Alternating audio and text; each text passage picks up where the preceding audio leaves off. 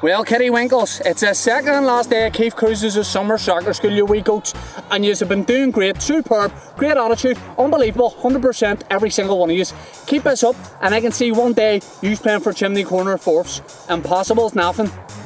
Now just remember before we start, because we're near the end of the summer soccer school, if you do make it pro or even semi-pro, Keith is due 60% of all wages made on or off the pitch and it was in the small print when your mummies and daddy signed up for this, okay? Happy days! Today's class is all about celebrations. When you score an absolute worldie, you have to have a celebration to match.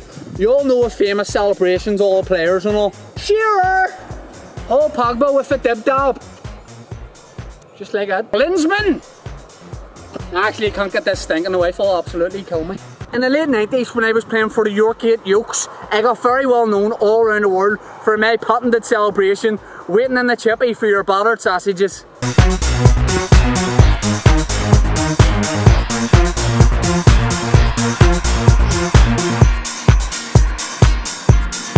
Sheila, how much longer are you going to be, love? Sure mate, we're doing it everywhere.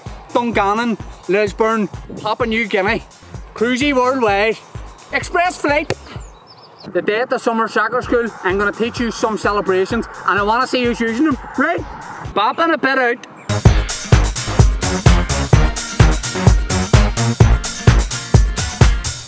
Washing the dog.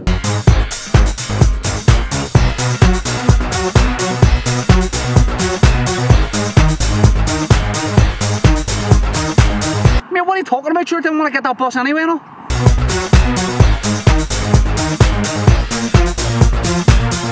And my personal favourite, running home from a park for a sheep. Get a good sleep at night because tomorrow it's the last day of the wee school. Tomorrow morning I want to see us having a good breakfast, an athlete's breakfast. I would personally recommend a 9 egg omelette, a Wispa golden a litre of milk, okay? I'll see you tomorrow for the last day. Winners never quit and quitters are dickheads. Remember it?